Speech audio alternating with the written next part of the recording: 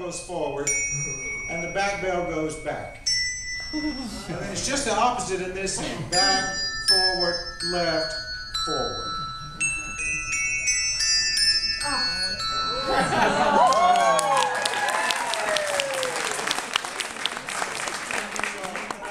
Thirds. The top third of the scale is these, these two bells run Shelley. The next one down is like a reverse four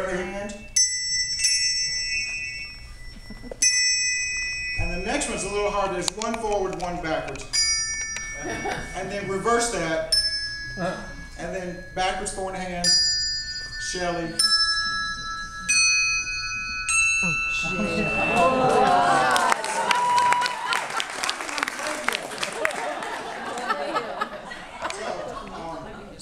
I'm, I'm bringing this in carillon style. You know, carillon is a set of tower bells, melodic tower bells that never damp. They just play and they ring until they stop of their own accord. So I'm playing this.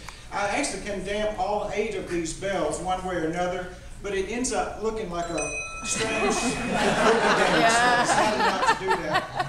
I do damp the seventh of the scale sometimes with my pinky finger to get rid of that dissonance. But that's about the only dance. Sometimes I'm damping these here, but that's, that's about it. So this is carillon on Nettleton.